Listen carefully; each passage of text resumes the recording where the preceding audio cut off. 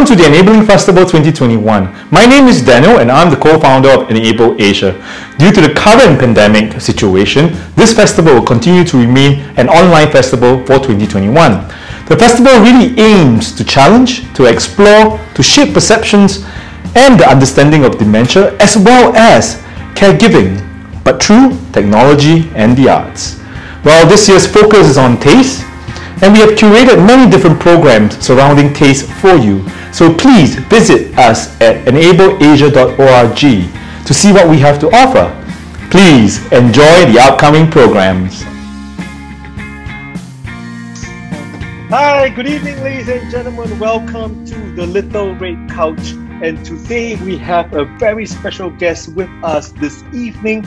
She's one of my fellow former colleagues from, uh, we're not going to tell you where it is, but we were in the healthcare together, so that's giving a hint, right? So, uh, 如果你们今晚在看我们的节目的话，就是谢谢你们啊、呃，看我们的 Little Red Couch，因为这个节目就是带给你们、献送给你们的啊、呃、一个呃 medical 或者一个呃比较 insightful、比较啊、呃、有有有有内容方面的的的一个节目吧。所以今天我有呃我的好朋友，Hello，你好。Hi, so let's, yeah, we're going to do this in Mandarin and English uh, for those who are watching us uh, this evening because we realize that some of our caregivers are not only just uh, uh, bilingual and sometimes they are trilingual, sometimes they are there, there are many, many, many, many, can speak many, many different dialects. So I can only do a few. So there's English, there's Mandarin, there's actually sometimes a little bit of Hokkien. Mm. So so I, I, I, was formerly working with uh, uh, uh Ming here, right? Ming, just tell yes. us what you do. I mean, I mean, um, we never really talk about it actually. Okay, so okay, so my name is Mei Ying. So I have, I was a um, clinical dietitian for three years in uh um in the pediatric and uh, maternal nutrition uh side of the house. So after that, then I moved on to uh, being a community dietitian mainly working on uh, public health uh, promotion kind of programs. Yeah, so I'm, I'm currently still doing the, the community side of work. Yeah, helping with um, mainly the school going children to combat like yeah. obesity. La. Yeah. So yeah. I've been in the industry for about nearly 10 years now. Wow, it's a long yeah, time. so 10 years is a long time, yeah, it's right? a long time. Yeah, and, and 10 years to be playing with food and nutrition. How is it like? I mean, tell me what, what's what has what has what has food and nutrition why do you even do what you do? I think that's important. So let our viewers understand okay, um, I, why you do what you do. I think it goes all the way back to during secondary school where we have home economics. So back then okay because my age gap with my brother is 13 years old. So when i was in sec 1 he just started weaning and then that is where home economics then they teach about you know how to prepare weaning food and things like that. And that got me interested and then, so when I was uh, doing streaming in Sec 2, I decided to go into food science, uh, food and nutrition track. Lah.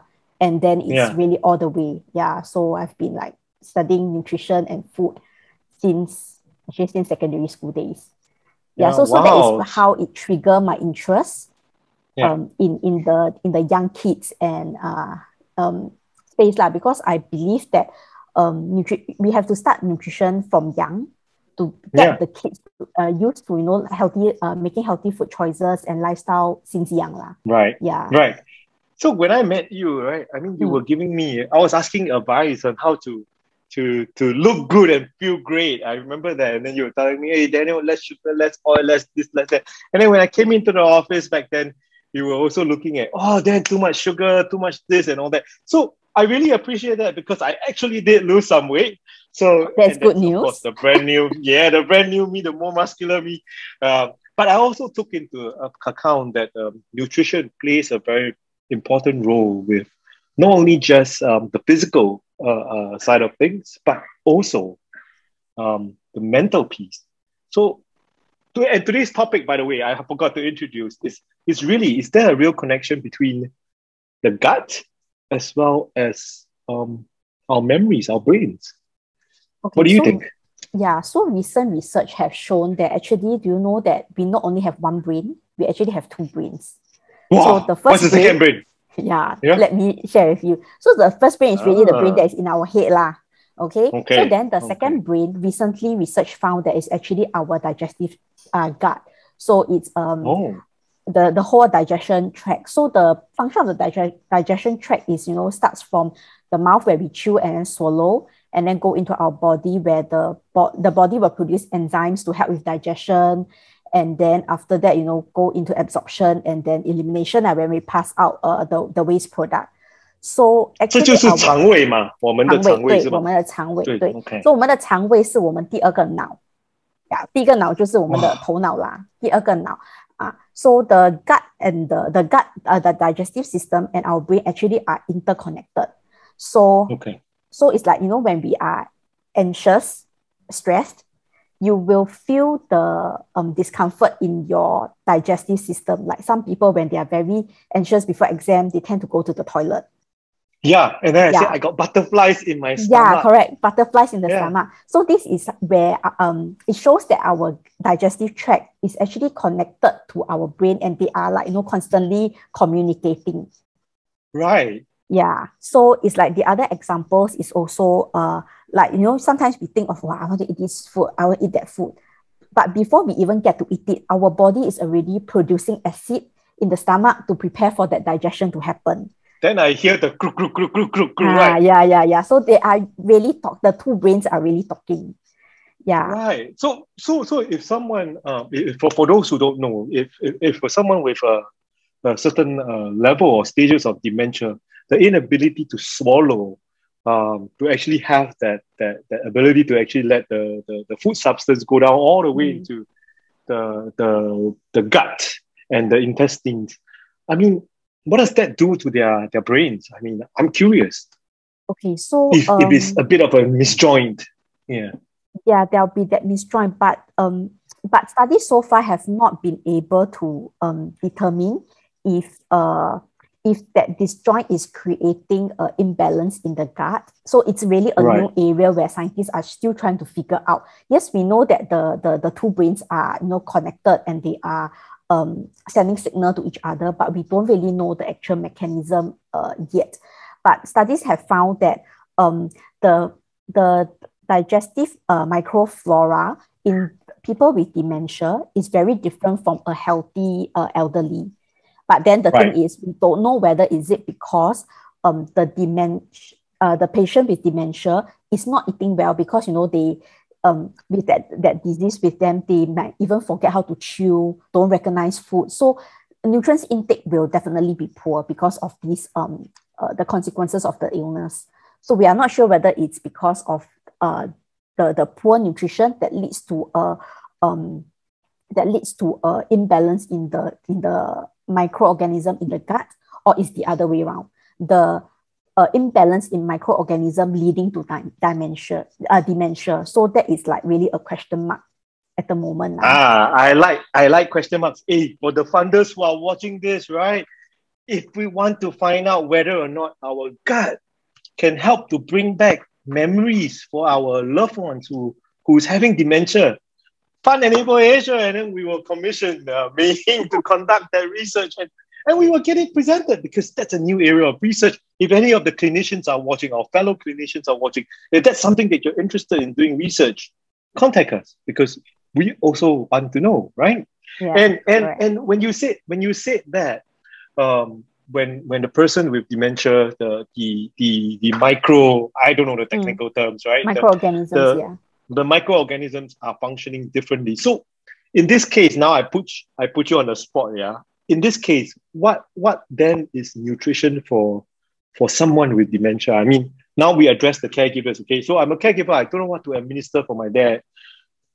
How do I know whether or not he's he's having proper nutrition or or is eating right? How do I know? I mean, how would I as a layman know? Yeah. Okay, so in general, right, we um we will follow um HPB Health Promotions Health Promotion Board um My Healthy Plate, where um it's also a, a, a plate lah. So h- quarter of the plate should consist of uh vegetable, but maybe for people with dementia where they have got difficulty in chewing, you will have uh, you will pre- uh, preferably cook the vegetable soft and choose the softer vegetable, but they should still have the um the the, the vegetable as part of their My Healthy Plate, and then um, the other quarter should be protein food.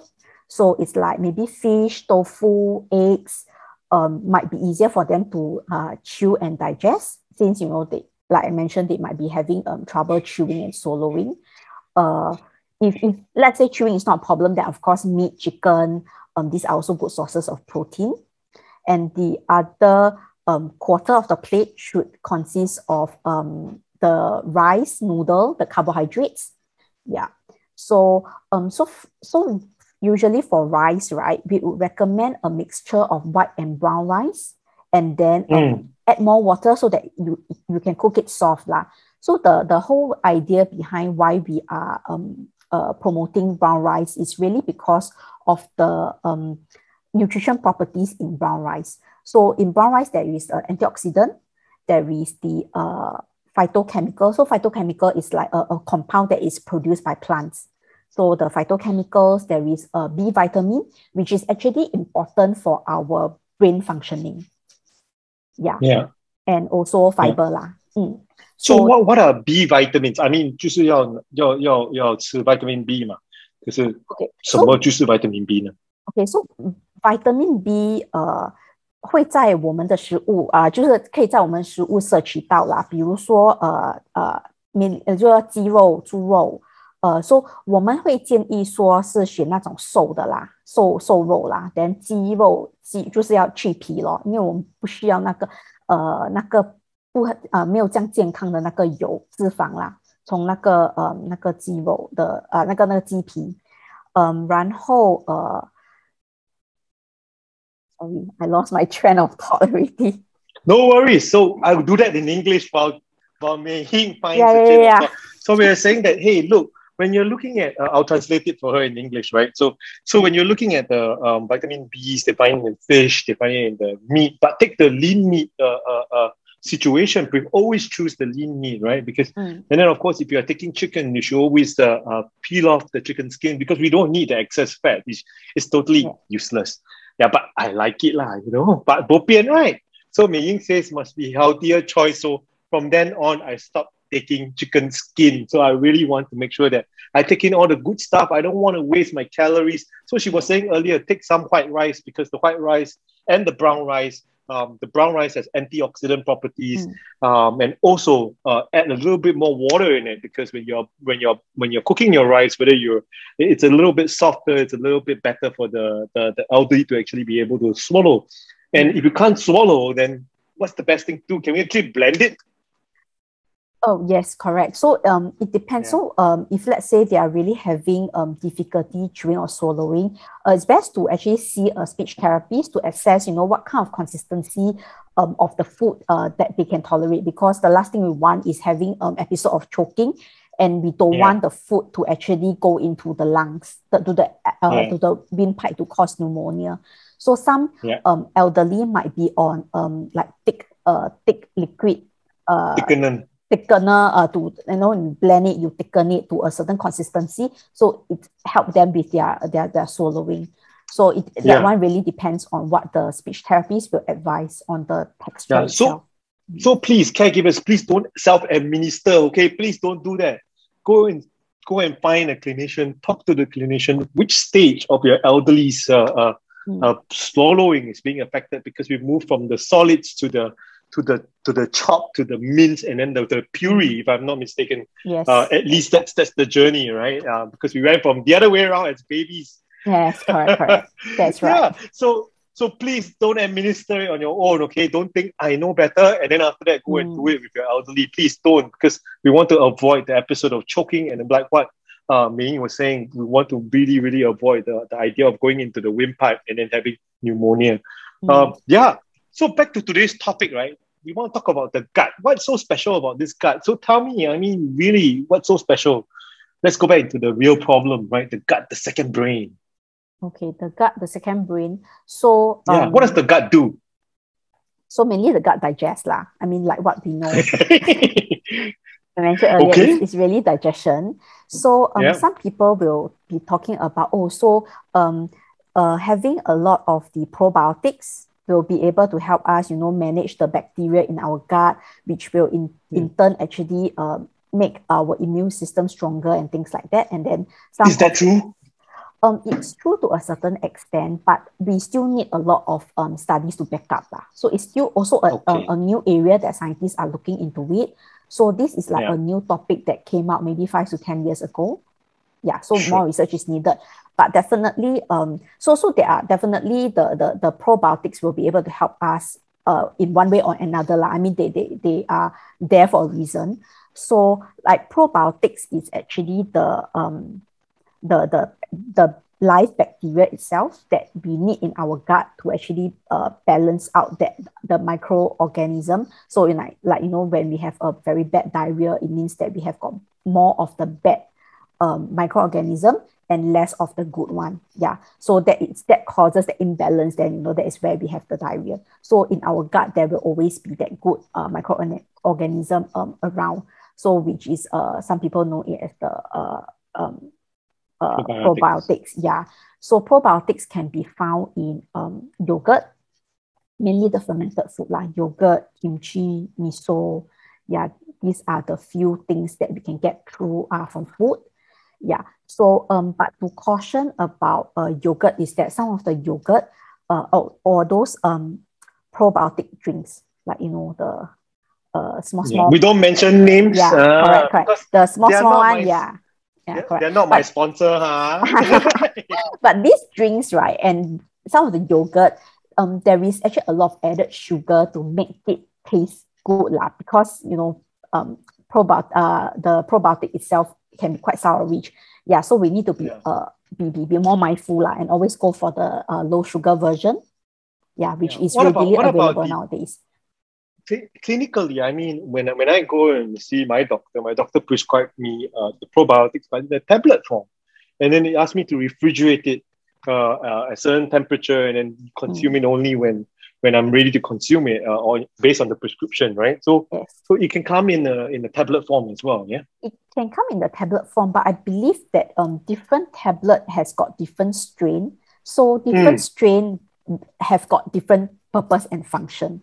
So Yes. it's like so the caregivers, please don't 乱乱买吼。莫 yes, 看到买，我讲哇，这 Daniel 讲会使食，咪食，唔是我讲嘅吼。 Yeah, so must go and see doctor, Yeah. okay? should always Yeah, get important um, thing. the prescription from the doctor lah, because doctor will know which strain is for what purpose. So it's like you know sometimes when we take uh like when we when we are sick we uh take antibiotics and the doctor will always give us a dose of the probiotic just in case we have episode of diarrhea. So that probiotics will contain the um the the, the good bacteria that is targeting at you know diarrhea symptoms. Yeah, to, to Yeah, balance yeah. out that lah. Yeah, so, So different very different. Mm. So very different Yeah. function. lah. I mean, if we if you buy something for diarrhea and you don't really have diarrhea, then defeat the purpose. lah. No point, waste right? money. Yeah. lah. yeah, correct. It- it- precisely, it's really precisely. money. Yeah. So so how do I protect my gut? Because it's so important. Like what we say, it's the second brain. How do I protect it? How do I make sure that I take care of it? Mm. Like my brain, right? Yes. Yeah. Um, so generally, there are some of the nutrients we should uh, focus on. Or of course, eating Mm. a general balanced diet is a given now. But there are some nutrients that we can focus on, like you know, antioxidant. Um, so it's like your vitamin C, uh, vitamin E, uh, vi- vitamins. So these are easily found from fruits and vegetable. So the brighter color fruit and vegetable will have a lot of uh, antioxidant. Um, the other one will be uh, vitamin B, which we mentioned earlier on. So um, B vitamin is actually help to regulate how the energy is being used in the brain. Yeah. Yeah. Important, huh? Yes. Yeah. And uh, so um, research has shown that if let's say we are not getting enough of the B vitamin, it can actually affect our cognitive um, function, our brain function. So making sure that uh, we can we are getting enough uh, B vitamin from the um, mainly the meat sources, shellfish. Yeah, the, the B vitamin from these sources. And of course, just now I mentioned whole grain, lah, like brown rice. So for brown rice, right, don't get do 100%. If let's say the elderly is not used to it. Because you know, lah, Mm. changing a habit, they are used to eating those like, you know, uh, 泰国香米, where it's so nice, so soft and fragrant, and suddenly you change to a bowl of brown rice, which is so hard to di- uh, eat and digest, they might not like it. So maybe Yeah. just do a 10% mix. So uh, for example, if you have one cup of rice, you can do like, you know, one tenth of it first, and then slowly increase the portion. lah. Um, but Yeah. I we usually recommend up to 20% mix is actually a good amount already. So don't have to go yeah. fully so, 100%. So let's do this. In, mm. Let's do this in Mandarin, right? I think mm. it's important for Mandarin um, listeners out there. I cannot do this part, it's too technical. Okay. Let, me, let me, me, try. Ah. ah, okay, let me try. Because so, uh, from you, it's more real. You know, for me, it's like, hey, Daniel. 乱乱乱乱送 one. Yeah. I 我我试试看啊，OK。所以刚才我们就讲到那个 B 维他命是对我们的呃脑部功能是很有帮助的啦。如果吃不够的话，嗯，就会影响到我们的脑力啦。所以可以从哪里摄取那个 B 维他命呢？主要就是以肉类，呃，就是刚才讲的瘦肉啦，连呃鸡要去皮去皮，然后就是海鲜，好像说虾，但你不要吃虾头啦，因为胆固醇在虾头嘛，嗯，呃，海鲜类食物，然后还有糙米，说糙米可以是呃那个呃。嗯，可以是那个 brown color 的，也可以是有些是红色糙糙米，有些是那个 purple color 的糙米，说这些都是都是糙米啦。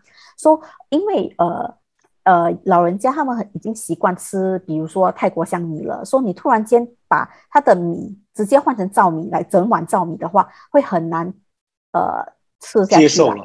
啊，接受了很难吃，因为会比较硬。而且可能会很难，呃，吸是身体也是很难吸收了，因为它的纤维可能突然间太高了，所以我们 too much fiber, right? Too much fiber, yes, correct. So too much fiber, uh, is also not a good thing. So everything must be in moderation, cannot overdose 啦。Yeah. 所以要要要要安步安步啊，咪一摆参加了，after that 哇，点点去 toilet 了，after that。你加一杯去 toilet 啊，会变成便秘啊，like constipation can lead to constipation. Ah, okay. So caregivers, please note as well, it is important, yeah. Uh, so the mixture, right? We are saying 是是差不多十八仙吧。So 可以先开始十八仙，你就掺一点点在那个白米里面，然后就慢慢的啊，老人家可以接受的，你就慢慢呃就增加啦。最多我们是觉得是二十八仙就够了。啊，就的，嗯，就是掺二十八仙，呃，那个糙米跟呃八十八仙的白米就已经是够了。如果老人家可以接受，然后煮的时候就要加，可能加多一点水，所以那个饭出来才会比较软一点呐。老人家会比较容易吃，不然有些人是呃在煮饭呃煮那个糙米之前蒸半个钟头，让它的米比较软一点，才跟白饭一起煮。